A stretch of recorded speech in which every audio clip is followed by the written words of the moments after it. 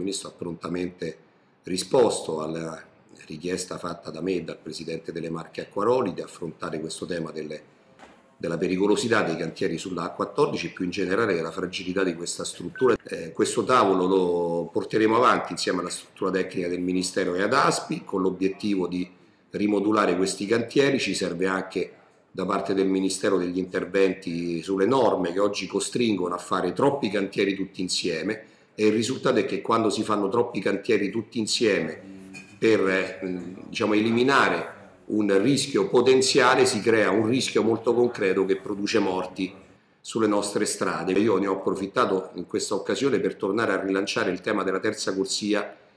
perché questa autostrada è troppo vecchia, quando bisogna fare interventi di manutenzione è necessario, non c'è lo spazio fisico per fare altrimenti che non chiudere i sensi di marcia. Dobbiamo pretendere che anche l'Abruzzo possa avere infrastrutture degne del XXI secolo con